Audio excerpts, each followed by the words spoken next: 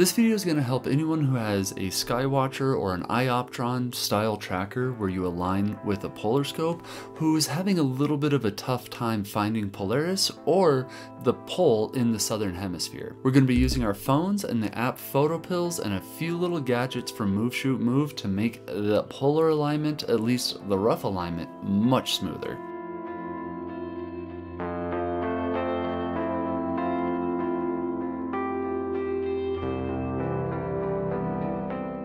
Some of you may remember that I made this video right here that talked about how you can use a bracket with a laser to send the laser through the polar scope to get an alignment, at least a rough alignment to Polaris.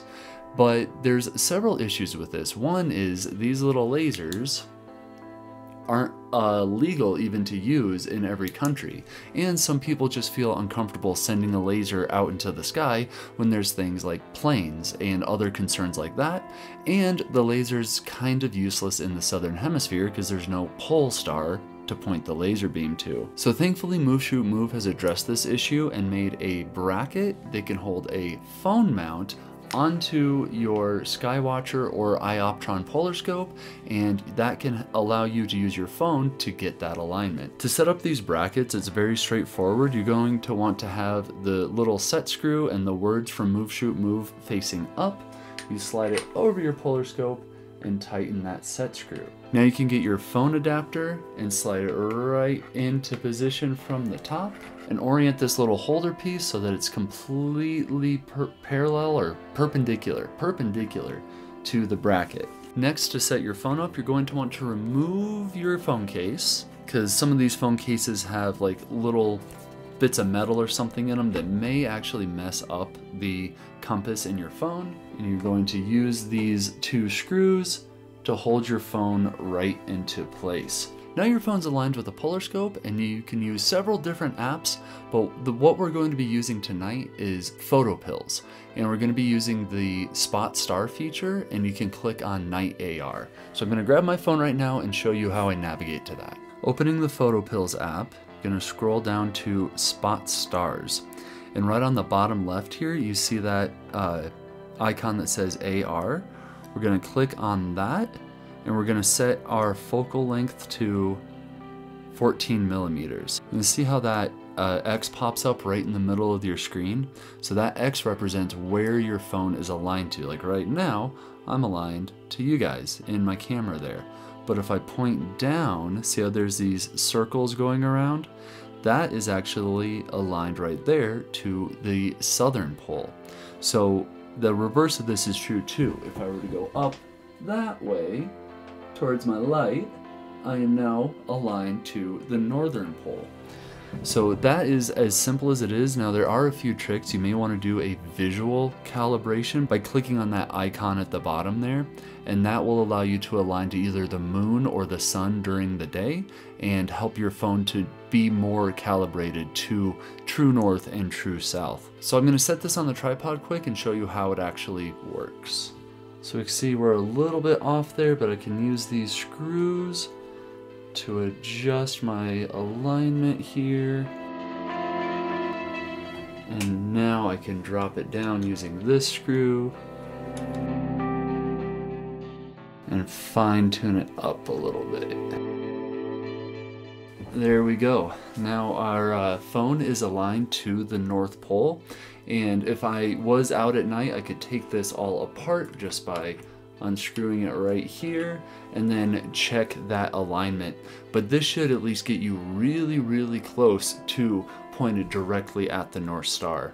So we're gonna go out tonight and put this to the test and see how accurately we can track with just using our phone, and then we'll make whatever adjustments are necessary and we'll see how far off it is compared to the polar scope, and then get some proper shots. If you'd like to pick up this or anything else from Move Shoot Move, you can do that through their website. There's links down below. Use the code ALEX at checkout for 5% off, or if you'd like to pick up any of the any of the other gear you've seen me using, there's many fun links down below. All right, we're out here in the front yard. I am using the Photo Pro Origin Plus tripod. So far, I love this thing and I'm coming out with a review all about this tripod in my next video. But the reason we're all here is to see how the phone alignment bracket sets up. So I already have it attached to my Skywatcher and I kind of eyeballed it north. I have a decent idea of where I need to be pointing, but I'm gonna use my phone to get a lot closer to the target of the North Pole. So I'm gonna open this up, start my PhotoPills app and go to work. So I was pretty close here. I got really uh, decently lined up to north, but now I can see that I just need to make a few adjustments to move it back in the right direction here. All right, I, I like how that's looking. Now let's pop this off and see how close we got by using the polar scope.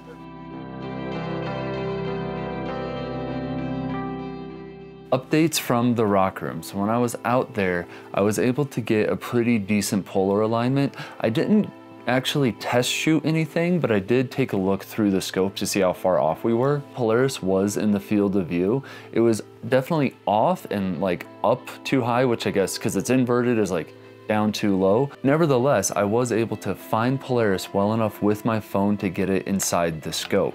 And that really is the purpose of this whole thing. It's not to do all of the work of polar aligning for you, it's just to make finding Polaris a bit easier. Now, as far as the app PhotoPills, I liked how it worked, but I also downloaded a few other apps just to compare them, and I don't know which the best app is. I'm kind of frustrated with it right now. PhotoPills is nice because you have those two different calibration options. You can do just the one where you kind of wave your phone in a figure eight and have that calibrate it. And it also has a visual calibration where you can use the moon or the sun. That one's interesting, but not really always practical because you simply can't always see the moon or the sun when you're doing astrophotography. That's kind of the point, is you're doing it when there is no moon or no sun. Then I also got two different apps. One's called Polar Aligner Pro, which has a day align application this one's interesting because the way it works is you align your tracker once, doing like, like the old fashioned way, and then you set up your phone and you click a button that says save position. And then the next time that you go out, you can just kind of automatically go to that day align section of the app and it will orient it for you. I didn't have a lot of success with it, but I need to try it again. The other app I got is called Daytime Polar Align, and this one's really funny.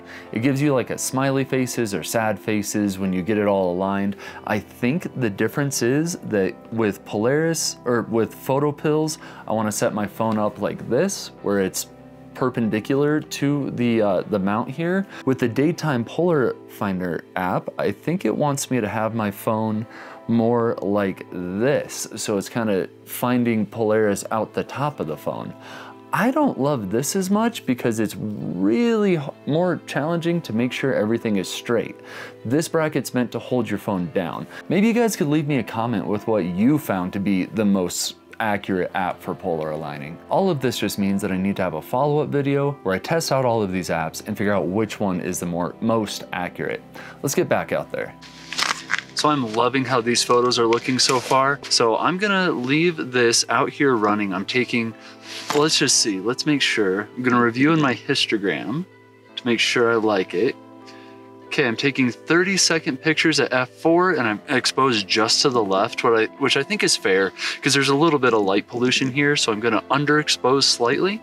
So 30 seconds, f4 at 3200 ISO. And I'm gonna take a bunch of these images to stack. So I'm gonna leave this running and we'll see how it works afterwards. But the main point of this uh, whole video is that I really did enjoy how well that cell phone uh, helped me to align my Skywatcher Star Adventurer.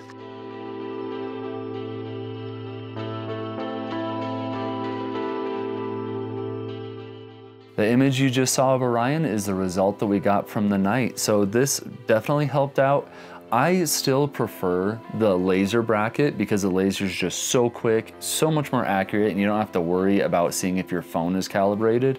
But if you can't use a laser, this is a really good option for making the frustration with aligning one of these trackers a bit easier. If you'd like to get a one-on-one -on -one session where we can sit down on Zoom and go over anything astrophotography related, be it the Skywatcher, the Move Shoot Move products, or any other questions or critiques that you might be looking for, hit the link down in the description that will take you to my website, chasingluminance.com, and I have one-on-one -on -one Zoom classes available there. All right, so what do you guys think? Is the phone mount something that you wanna be using? Leave me a comment down below to tell me your thoughts thumbs up, subscribes, all that good stuff, and I will catch you guys on the next video.